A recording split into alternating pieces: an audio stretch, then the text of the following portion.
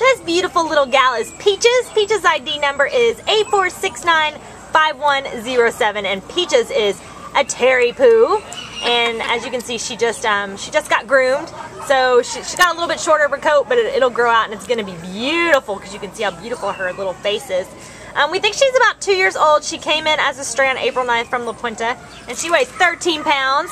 And this little gal can, was a little shy at first. Um, she doesn't know why she's in the kennel, but then she came out and was very affectionate and kissy.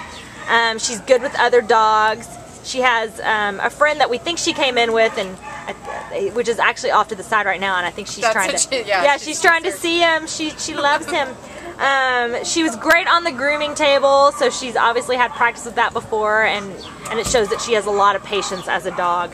So um, we think she'd be good, you know, a good family dog, good with kids, since she has so much patience. And she needs a little bit of leash skill. She'd prefer to be held, but you know, with practice, I'm sure she could become better at that. So we would love to see her find a great home, um, just find a good family, either an apartment or a home some children, or, or just a family that's going to just hang out with her and, and she'd be good hanging out on the couch and just chilling out and, and just being your buddy and hanging out by your side. So come on down and see Peaches today at the Baldwin Park Shelter. Right, Peaches? You're ready to go home.